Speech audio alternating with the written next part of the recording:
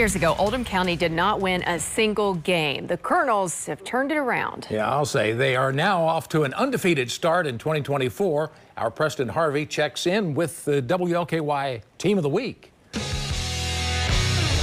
All work on three, one, two, three. Forward. We got some pretty dynamic playmakers this year, and so I'm excited to see them continue to advance. Oldham County football has been on fire thus far, defensively allowing just over 12 points per game, while the offense is averaging 34 points every Friday night. With the help of Jaden Corum, the junior running back racked up over 300 yards on the ground and three touchdowns in the Colonels' win over Collins last week. The run game was really helping a lot. We put in a new offense where I would go in the backfield and run like a toss.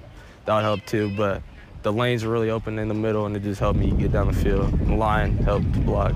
Offensively, it, has been really fun to see. You know, these guys have been together a long time. We brought in a few new guys from the basketball team, and um, being able to kind of set up uh, set up us for success on both sides of the ball. Oldham County football is off to its best start in recent years.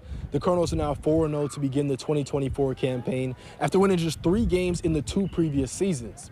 Head coach Sean Little is in his second season with the Colonels and attributes all the success to the work his team put in during the offseason.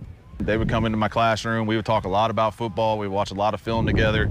Um, you know, they spent a lot of 7 a.m. mornings uh, before school coming in and putting in the work in the weight room, uh, staying after school to get agilities in.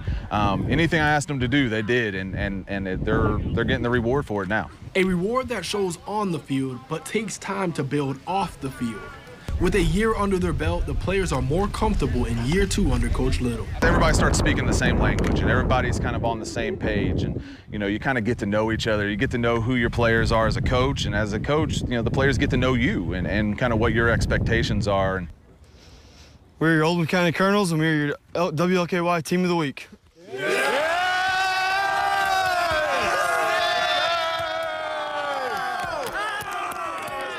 And the Colonels have a huge rivalry game tomorrow night hosting South Oldham. It is one of several games that you will see tomorrow on High School Playbook.